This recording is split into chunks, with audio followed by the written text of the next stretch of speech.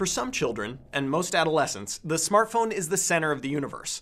I knew this in an abstract way, but I don't think I really appreciated how far it went until I read this article appearing in JAMA Pediatrics.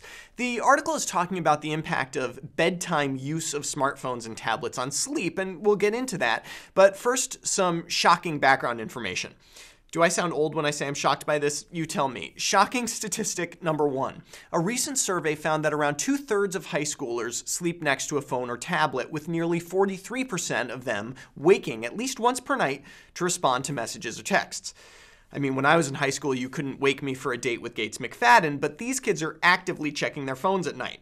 Shocking statistic number two 72% of children and 89% of adolescents have a phone or tablet in their bedroom somewhere.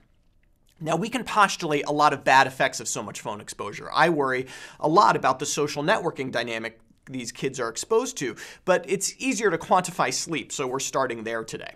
The JAMA Pediatric Study out of King's College London was a meta analysis of published and unpublished studies evaluating the effect of bedtime smartphone and tablet use on sleep.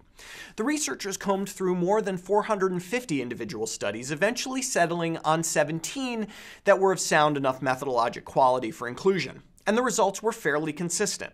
Across multiple sleep domains, use of phones and tablets at night are a significant problem.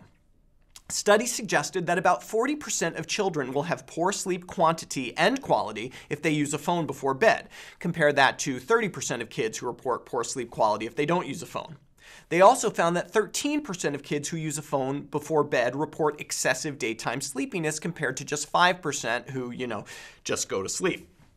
Caveats abound, though. None of these studies were randomized trials. It's possible that kids who use phones at night have other things going on in their lives that contribute to poor sleep quality.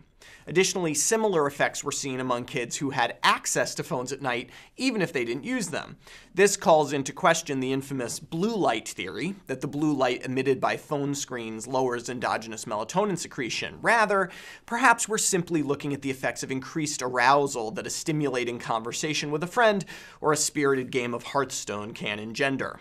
But the bottom line is that phones are ubiquitous. What's worse, the social stigma of not having access to a phone is a major concern of teenagers as well. So we should all figure out ways to keep phones out of our kids' bedrooms. Or at least we should sleep on it. For MedPage Today, I'm Perry Wilson.